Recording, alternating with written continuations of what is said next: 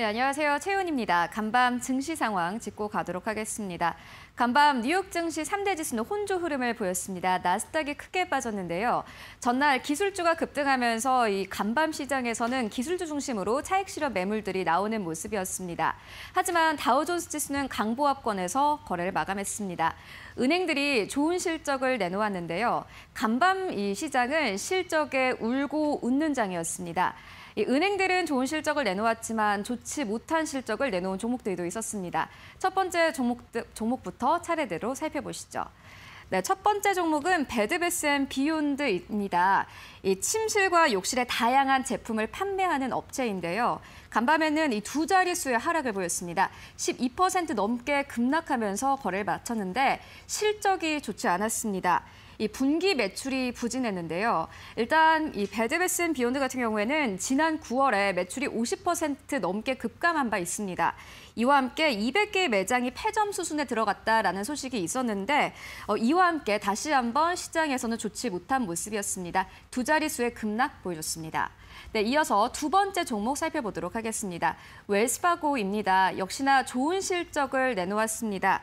1분기 순이익이 예상치를 상회했는데요.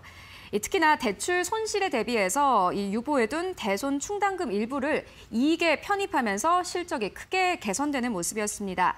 웰스파고 측에서는 미국 경제가 크게 개선됐다는 점 그리고 전략적 우선순위가 반영된 결과다 이렇게 밝혔는데요. 이와 함께 웰스파고는 5% 넘게 급등하면서 거래를 마감했습니다.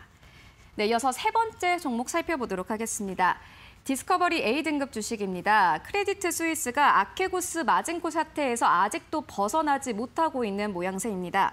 크레디트 스위스가 아직도 디스커버리 A등급 주식을 매각하고 있다라는 소식이 들려왔는데요. A등급 주식을 지금까지 1,900만 주 넘게 매각을 했는데 아직도 대량 매각하고 있다라는 소식이 들려오면서 디스커버리 A등급 주식은 5% 가깝게 급락하면서 거래를 마감했습니다. 네, 이어서 네 번째 종목 살펴보도록 하겠습니다. 간밤이 유가가 큰 폭으로 급등했습니다. WTI는 거의 5% 가깝게 급등하면서 63달러 선을 상회했는데요. 이와 함께 빅 오일주 3인방이 모두 급등하면서 거래를 마쳤습니다. 엑손모빌은 3% 가깝게 뛰었고 쉐보로는 2% 가깝게 그리고 코노코필립스 같은 경우에는 4% 가깝게 뛰면서 거래를 마쳤습니다. 유가 같은 경우에는 이 글로벌 원유 수요 전망이 현재 확대되고 있는 상황이고 미국 측에서 이 주간 원유 재고가 589만 배럴 낮춰졌다라는 소식이 들려오면서 간밤 에너지 업종들 전반적으로 상승 흐름을 보였습니다. 네, 이렇게 유가 관련 업종들 대부분 상승하면서 거래를 마쳤습니다.